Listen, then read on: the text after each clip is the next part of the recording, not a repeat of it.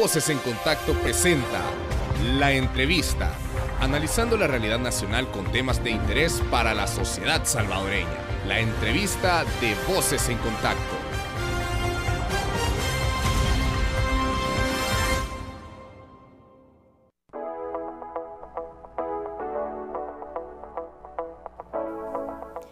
¿Cómo están amigos y amigas? Bienvenidas y bienvenidos a una nueva emisión de la entrevista de Voces en Contacto, este espacio en red de las radios comunitarias.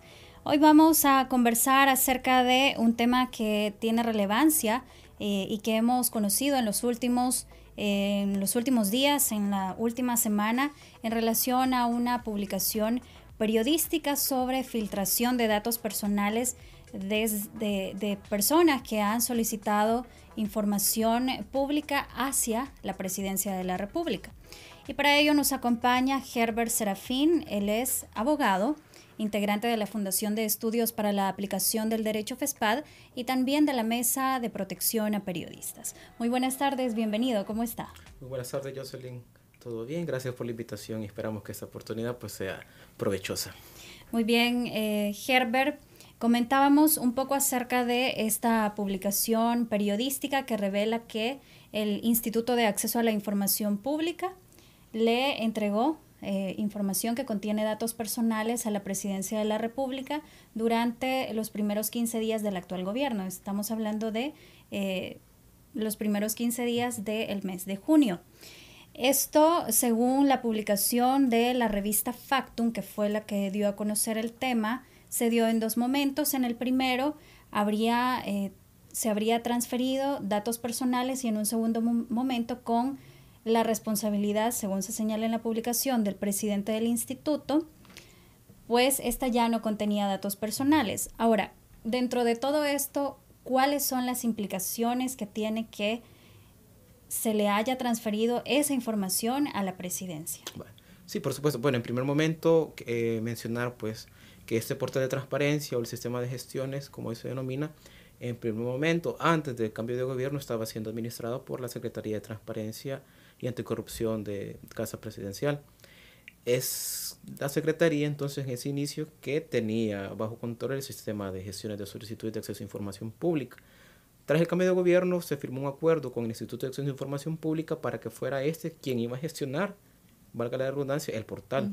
Por lo tanto, eh, a nosotros nos llama mucho la atención de que en los primeros 15 días se hubo esa filtración de información de datos personales. Pero ¿por qué nos llama la atención? A partir de que el portal de transparencia pasa a manos del Instituto de Acceso a Información Pública, este, esta entidad tuvo que haber realizado un estudio minucioso sobre el sistema. ¿Por qué? Porque el Instituto de Acceso a Información Pública ya por ley tiene autonomía administrativa y financiera. Por lo tanto, eh, debía de tener esa, digamos, ese, ese criterio, esa, ese ojo eh, misterioso, digamos, para verificar cómo estaba el manejo de la información. ¿Qué sucede? Si bien es cierto, hubo filtración de información de datos personales. Miren, nosotros en el país ya contemplamos con, incluso con la ley especial contra los delitos informáticos y conexos. Ya se establecen unas definiciones de qué se entiende por datos personales, que se entiende también por datos informáticos, incluso estas, estas eh, regulaciones están también reguladas por la ley de acceso a información pública.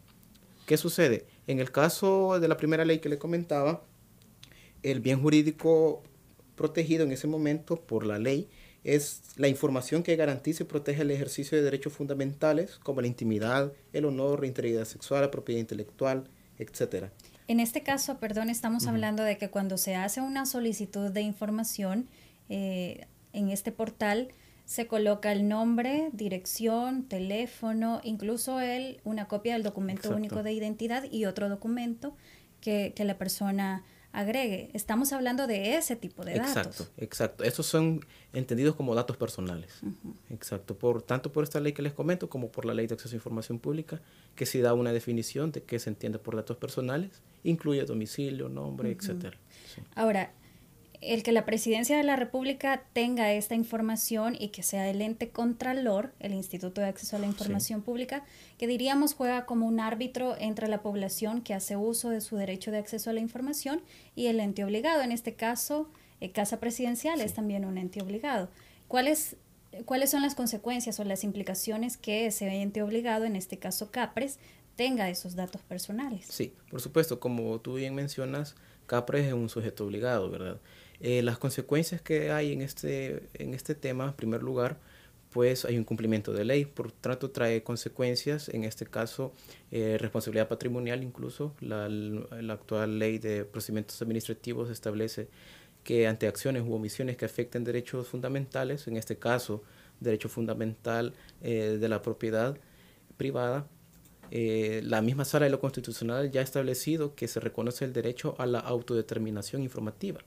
Este es una interpretación del artículo 2 de la Constitución y genera pues como un derecho fundamental que a ser violentado pues eh, recae responsabilidad sobre los funcionarios públicos. En ese caso, ¿sobre quién recaería la responsabilidad? Eh, a, mi criterio, eh, recaería pues sobre el presidente del Instituto de Acceso a Información Pública. ¿Por qué?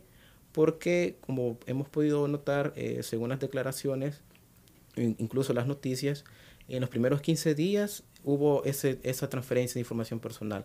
Posteriormente, una vez se lo notificó o se le informó al presidente del instituto, él mismo dio la orden pues para que siguiera fluyendo esta información, aunque recalcaba que no era, ya no era información personal, sino era información para generar estadística, o, informes.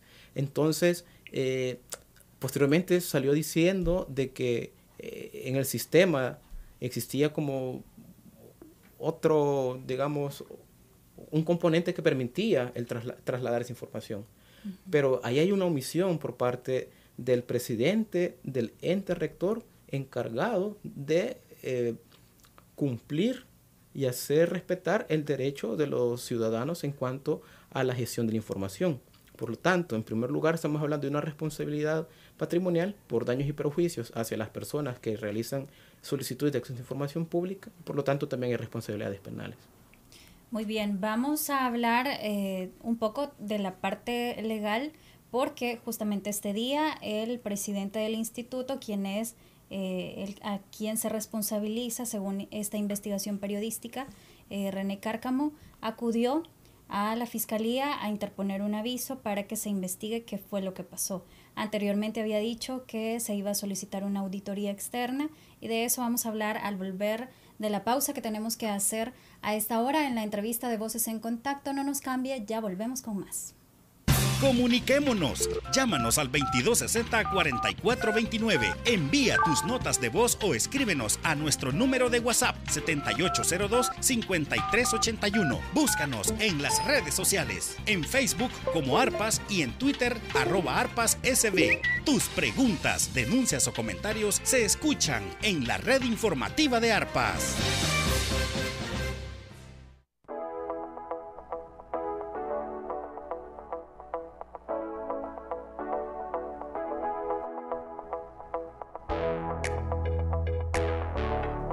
Muchísimas gracias por seguir en sintonía de la entrevista de Voces en Contacto en este martes 12 de noviembre. Hoy hablamos sobre cuáles son las implicaciones de que el Instituto de Acceso a la Información Pública haya transferido datos personales a la presidencia y lo conversamos con Herbert Serafín, él es abogado integrante de la Fundación de Estudios para la Aplicación del Derecho FESPAD y también de la Mesa de Protección a Periodistas nos em, quedamos un poco en la parte del aviso de investigación que presentó hoy eh, René Cárcamo, presidente del Instituto de Acceso a la Información, ante la Fiscalía General de la República para que sea esta instancia la que investigue qué fue lo que ocurrió con respecto a esta fuga de datos personales. Ya en la primera parte hablábamos sobre cuáles son las implicaciones, incluso jurídicas, eh, se quedaba usted en eso, de que esto haya sucedido.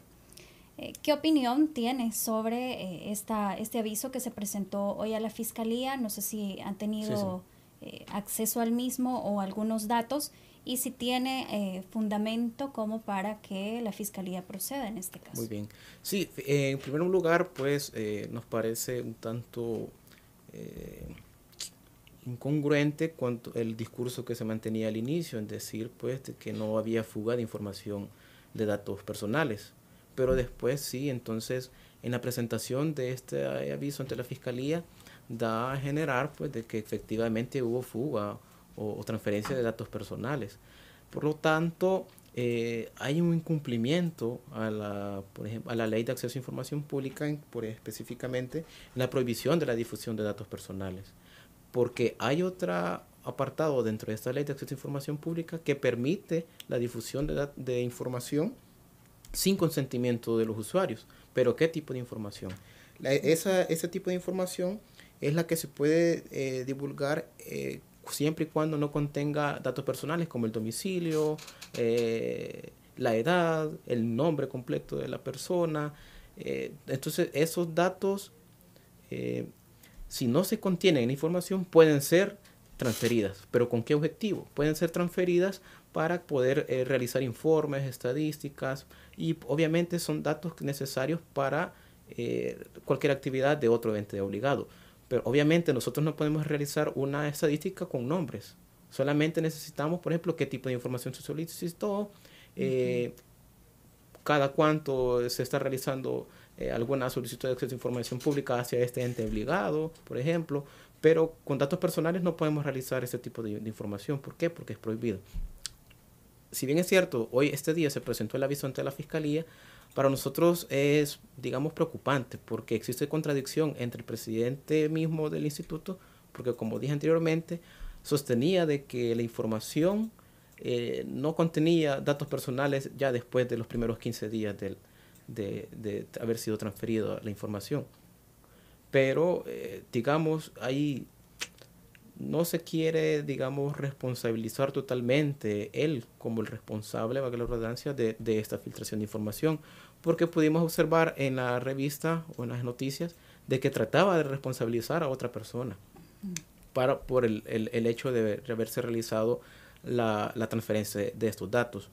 Pero, bueno, hoy ya presentado el aviso ante la Fiscalía de la República, pues la Fiscalía debe de actuar y reiniciar esas investigaciones pertinentes Obviamente tendría que pues, dirigirse hacia el Instituto de Acceso a Información Pública, realizar pues entrevistas con las personas que trabajan en el área informática del instituto, verificar de qué medida pueden irse deduciendo responsabilidades en este caso si las hay y obviamente pues siempre debiéndose garantizar el debido proceso por parte de la fiscalía. ¿Qué es lo que esperamos ahora nosotros como ciudadanos?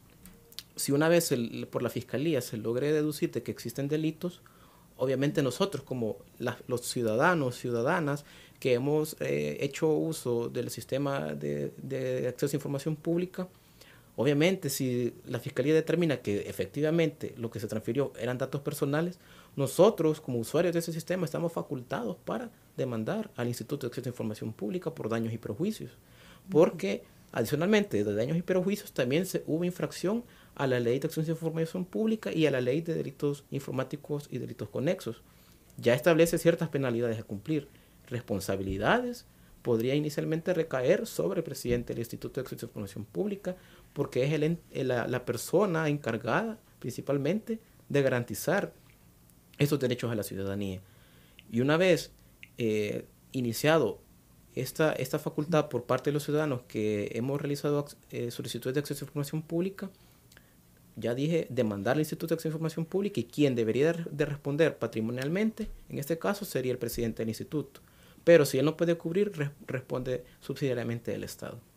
Bien, estamos ante la publicación de una investigación periodística que hace eh, señalamientos concretos a partir de em, eh, documentos que consultaron, eh, testimonios, etcétera.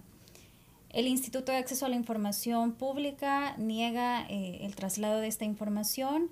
El presidente eh, dice que fue de lo que se ha dicho es que durante los primeros 15 días eh, fue de manera automática.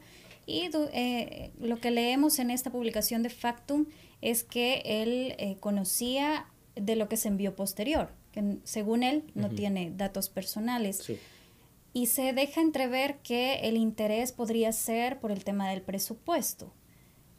¿Qué valoraciones eh, tienen en torno a esto? Estamos ante procesos que eh, continúan, ¿no? No hay una sentencia judicial que pudiéramos eh, afirmar o no lo que se está planteando en la investigación, pero hay algunos insumos que nos dan algunos elementos. Si este fuera el caso, ¿Qué opinión tienen ustedes en torno a que eh, se priorice en el traslado de una información a cambio de este tipo de, sí.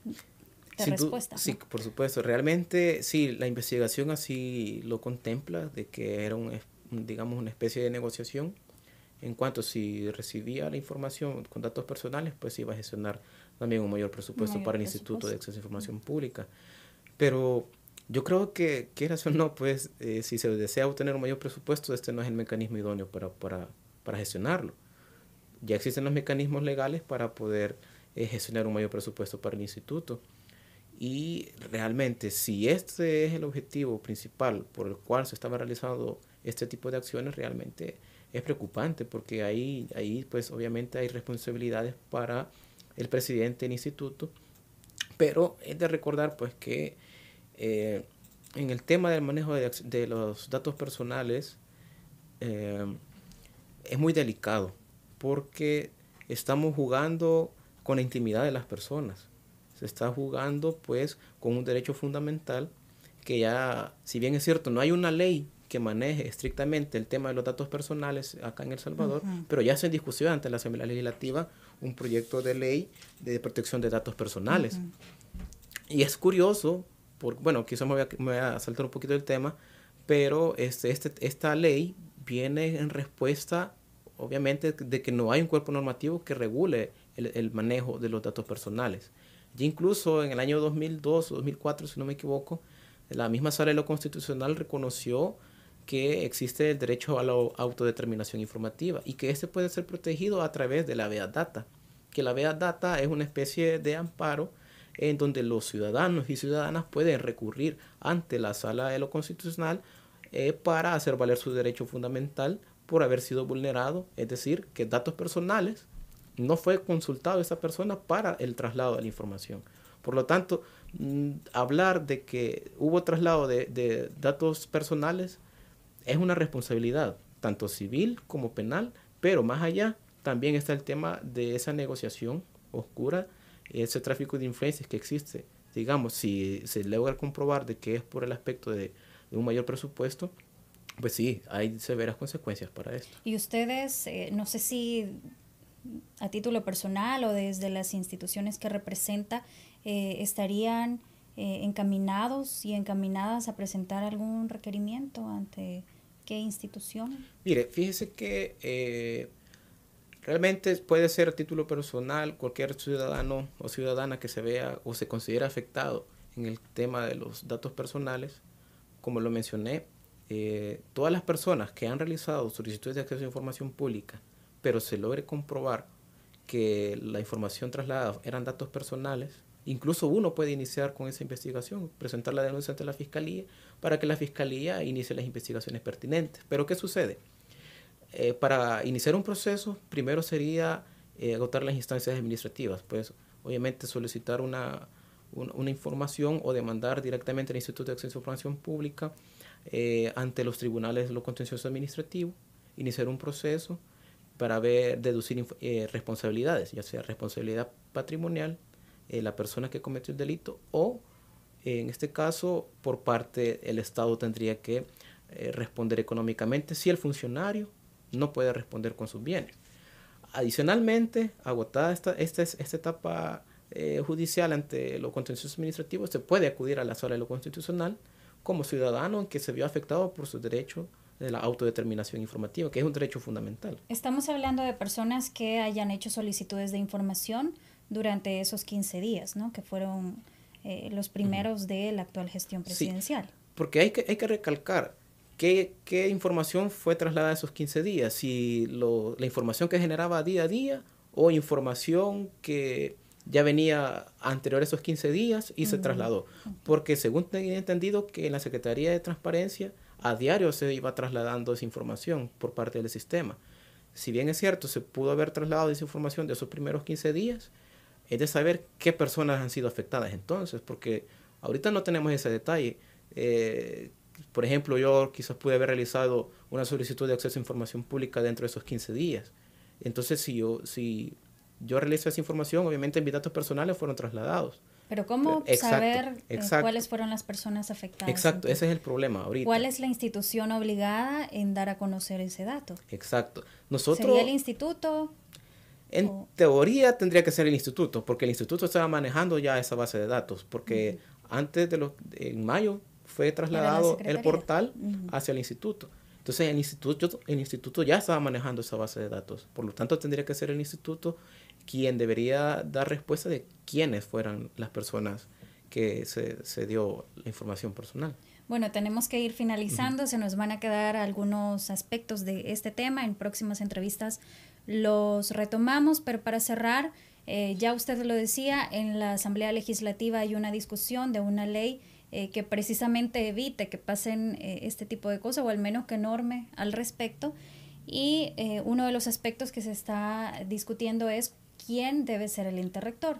La Defensoría del Consumidor, el Instituto de Acceso a la Información, que ahora pues está siendo cuestionado, o si una institución autónoma. Desde el punto de vista de FESPAD y de la Mesa de Protección a Periodistas, ¿cuál creen ustedes que debe ser esta institución? Bueno, eh, la Defensoría del Consumidor podría tener potestades para, para poder realizarlo pero digamos que el enfoque principal de la Defensoría del Consumidor pues está enfocado hacia otro tema, no específicamente para gestiones de, solicitudes de acceso a información pública. El instituto hoy en día, eh, la lógica o la, o la, especialidad da lugar a que sea él, pero últimamente, pues como tú lo has mencionado, eh, está, en, digamos, con el ojo crítico de la ciudadanía, por lo tanto, mm, nosotros consideramos que sería bien la creación de un nuevo, una nueva entidad especializada en el tema del manejo de datos personales. Bueno, muy bien, queremos agradecer a Herbert Serafín. Él es abogado de la Fundación de Estudios para la Aplicación del Derecho FESPAD y también integrante de la Mesa de Protección a Periodistas. Hoy hemos conversado un poco acerca de eh, las implicaciones que tiene el que se le haya trasladado información, eh, datos personales de eh, ciudadanos y ciudadanas que solicitaron información, esto a Casa Presidencial. Hemos abordado algunas de estas implicaciones y cuáles serían algunas de las responsabilidades de llegar a comprobarse estos señalamientos que se hacen a través de esta investigación periodística. Muchísimas gracias, hasta pronto. Muchas gracias, buen día. Así finalizamos con la entrevista. Le invitamos a mantenerse pendiente de las diferentes plataformas de la red informativa de ARPAS porque seguimos abordando este y otros temas. Feliz noche. Voces en Contacto presentó la entrevista, analizando la realidad nacional con temas de interés para la sociedad salvadoreña. La entrevista de Voces en Contacto